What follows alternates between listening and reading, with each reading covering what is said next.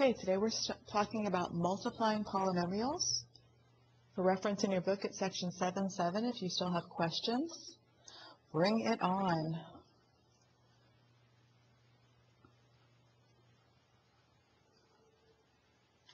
Okay, now we've already learned how to multiply monomials. And we know that we multiply the constants first, and then we multiply the variables that have the same, same base. So let's do a few of these for practice. I've got two monomials. I'm going to multiply my constants first, or, or coefficients first. So that's 7 times 4 is going to give me 28.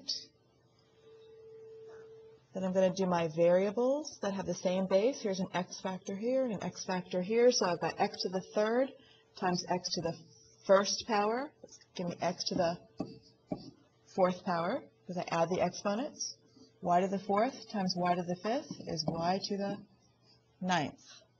Let's try another one.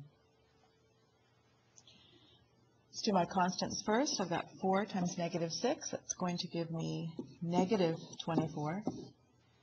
I have x to the first power times x to the third power, x to the fourth power, and I have y to the fifth power times y to the fifth power. Remember, I'm just adding my exponents, and I end up with y to the tenth power.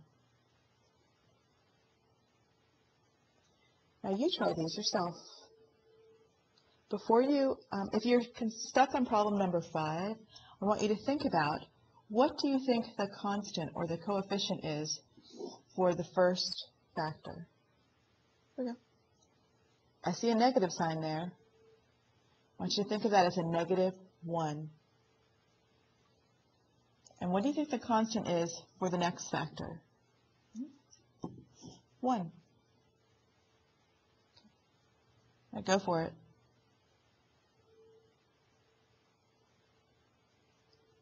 Okay. Now we're going to re refresh our memory about the distributive property. Here I'm distributing just a number to this polynomial that's inside the parentheses.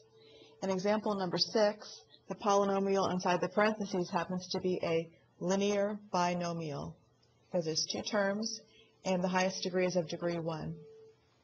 But we know how to distribute. It's just going to draw our arrows there. And we're going to rewrite this as 3x plus, don't forget your operation, because there's an operation inside that polynomial, plus uh, 3 times 7.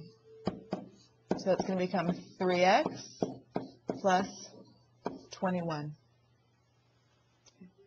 Now for problem number 7, I don't really have a number on the outside of those parentheses, do I? Ah, want you think of that negative as a negative 1.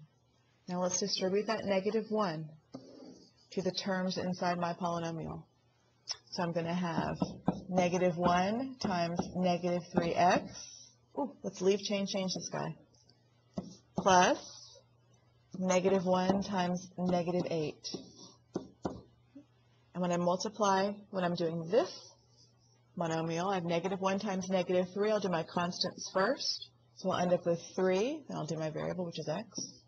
3x plus 8. Let's try number 8. Negative 5 times x squared. So it's going to be negative 5 times x squared plus negative 5 times 4x, which will be negative 20x. Leave change, change. Negative 5 times negative 2 is positive 10.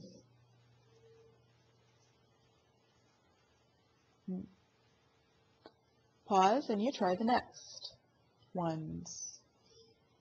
Don't forget for number 9, that negative sign is really a negative 1 that you're going to distribute.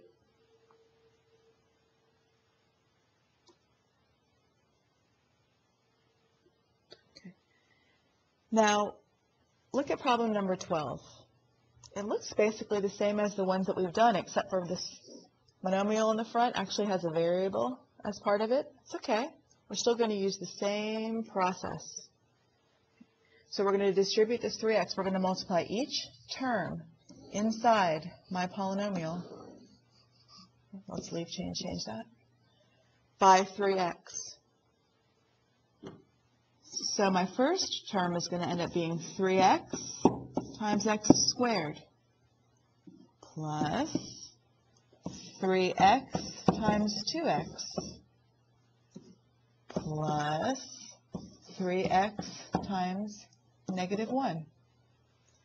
Now we know how to multiply. This is just multiplying monomials. So we're going to multiply our variables first. This is just a 3. And really, there's just a 1 for this x squared. So we'll get 3. And x to the first times x squared is x to the third power. Plus, let's do my constants first. I've got 6 to my x terms. That'll be x squared. Plus, let's do my constants first. That would become negative 3.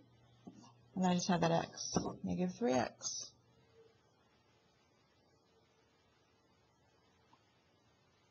And pause and you try the rest. Don't forget to leave change change inside your polynomials. Okay, I will see you at school.